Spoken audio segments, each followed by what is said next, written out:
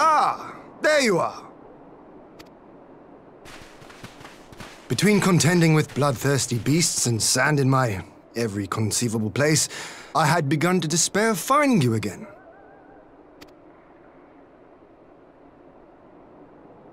Do you recognize the crashed ship over yonder?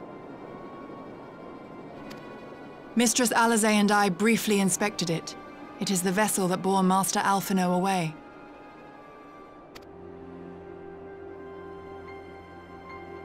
But there was no sign of him, nor of Maxima and his people.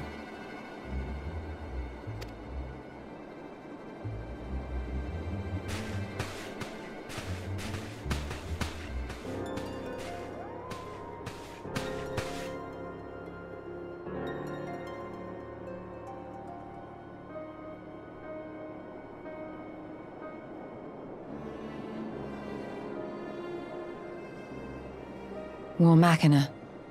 It would seem they were involved in a struggle.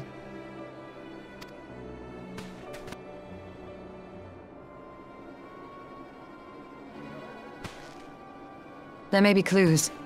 We should split up and search the area.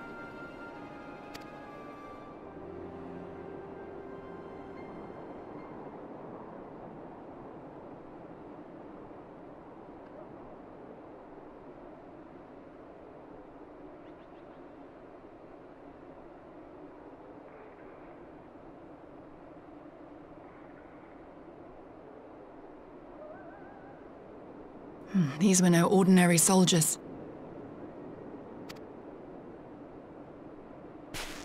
Over here!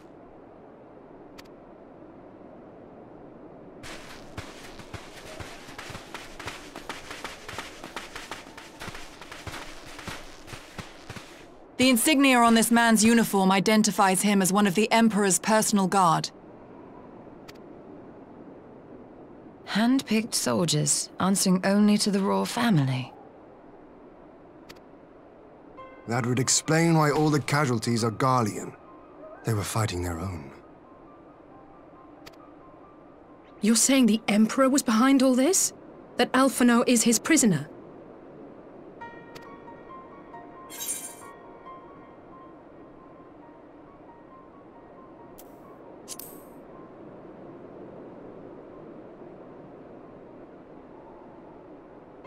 Aye, we must not jump to conclusions. Besides, Alphinaud is more than capable of looking after himself, is he not?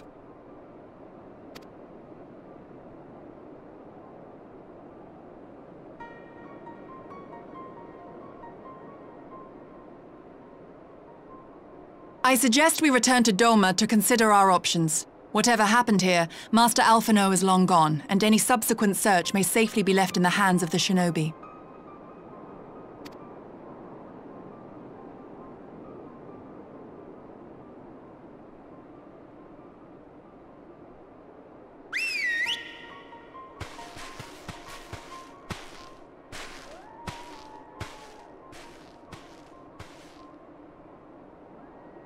Where in the world are you, brother? If you die on me, I will never let you hear the end of it.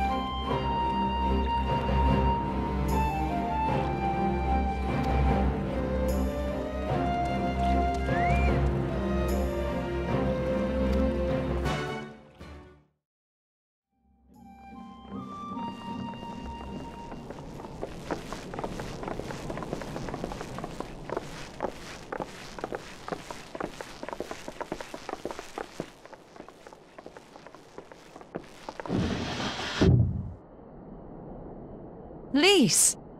What brings you here?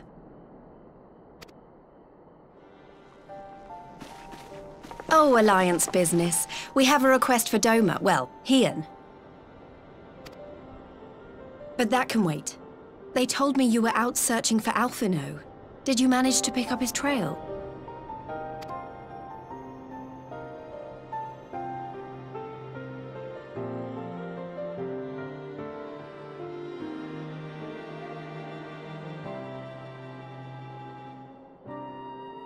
Well, if he wasn't at the crash site, he might still have escaped. We have to keep searching.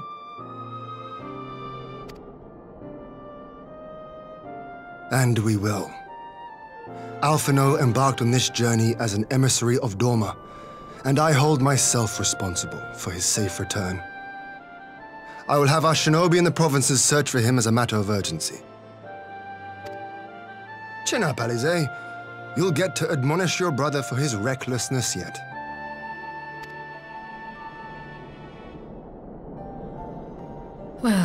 Someone has to do it.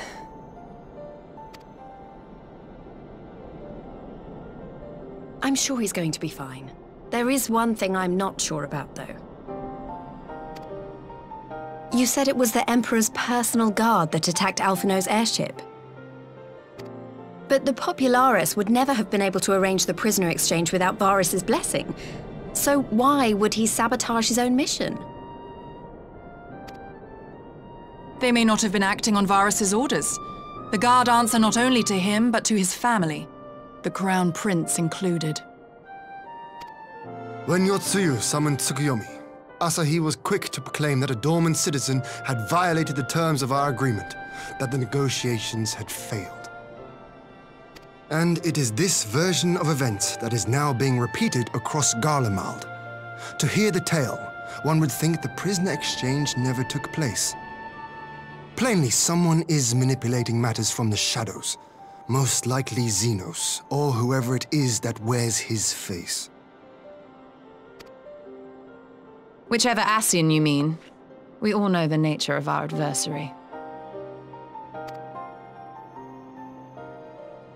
The servants of Chaos are true to their name.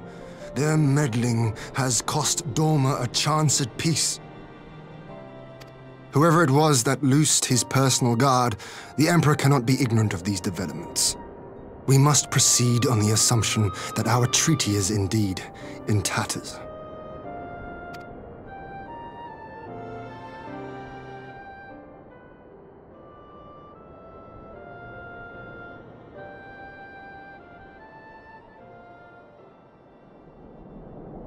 But come, Lyse. You have journeyed far.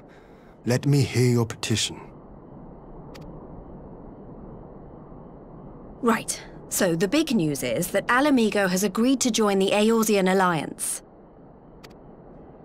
To make it official and discuss where we all go from here, the leaders of the five nations are planning to hold a meeting, and we were hoping you might come too. We've already seen what we can achieve when we work together, and the Alliance hopes to work even more closely in future. They think it's our best hope of keeping the Garleans in check, and I agree.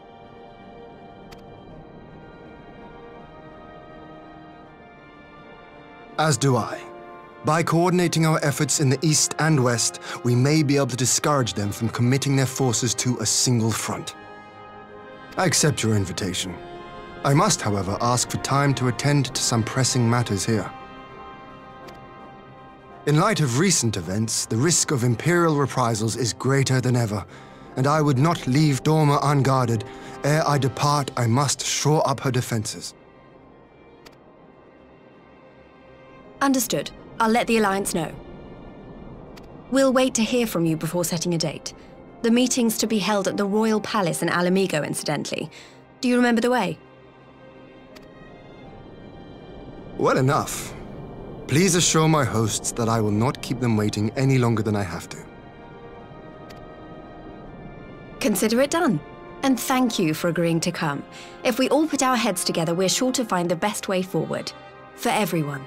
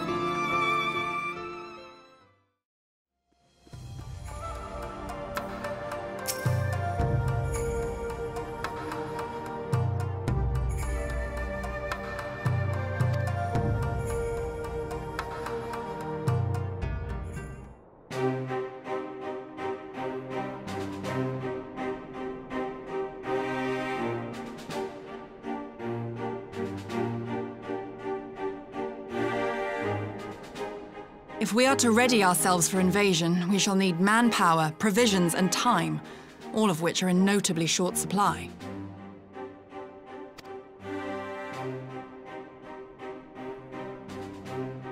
Candid as ever, Yugiri. And correct, I concede. Fortunately, I have an idea.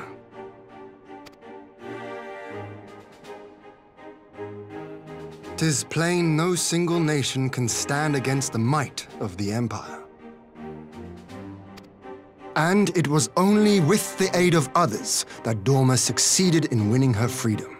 So, I mean to take a leaf out of our Eorzean friends book and form an alliance of our own.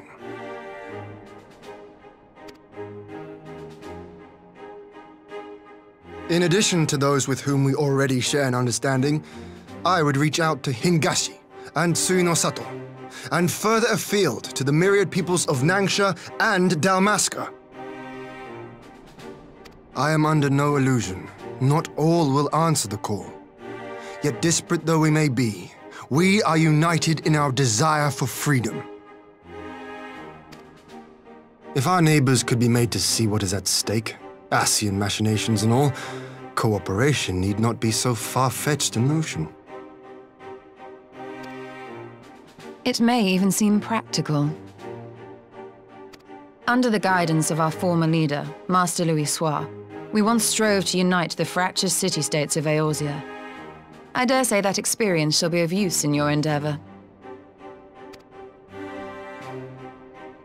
We should be glad of your wisdom. For the record, I would have been in favour of this plan even if it hadn't been my grandfather's, but I have to ask, how will we secure the time to carry it out? Not that anyone has forgotten, but the Garleans have airships. Lots and lots of airships. Should they catch wind of our plan, they could send an armada to overwhelm us before our alliance had even begun to take shape. Not if we deny them access to the skies.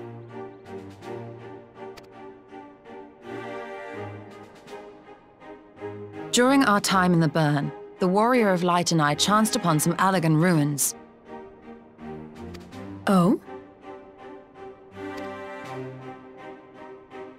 As such ruins go, they were not particularly unusual. But something about the surrounding land struck me as odd. Faint though it was, its ethereal residue was uncannily similar to that of Azys Lla.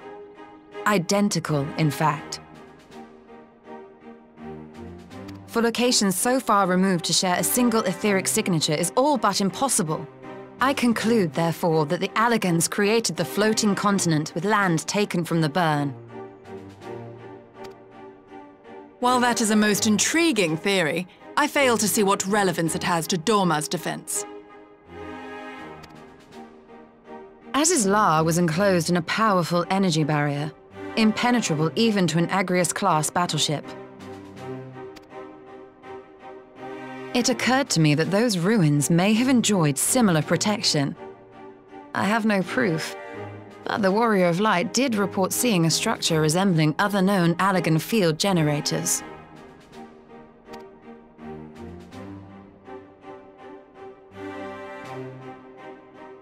All right. But even if we could put up such an energy barrier, it surely wouldn't extend beyond the limits of the burn. So what's to stop the Garleans flying around it?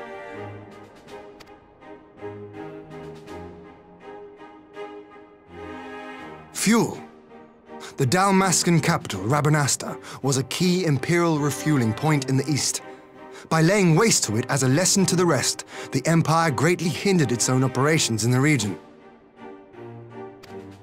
If an Imperial fleet were to advance upon Doma, it would now have little choice but to travel, as the crow flies, over the burn. I see. A word of caution. Even assuming the generator still functions, raising a barrier of such a scale will require a prodigious amount of energy. And few places are so bereft of suitable crystals as the burn.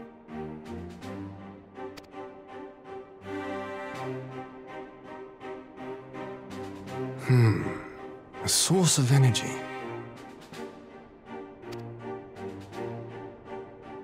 Tell me, did the Allagans make a habit of launching things into the sky?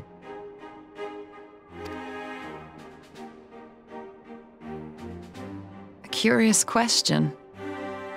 Besides Azys Lla, I know of only one other notable instance.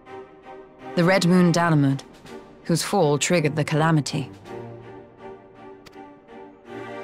Just the two occasions, you say? Then I believe I may have a solution to our energy problem. You do? I may. To find out for sure, we would need to visit the Azim Steppe.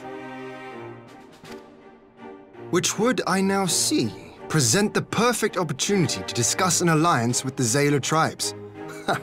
How very neat. What say you then? Shall we see whither this road leads?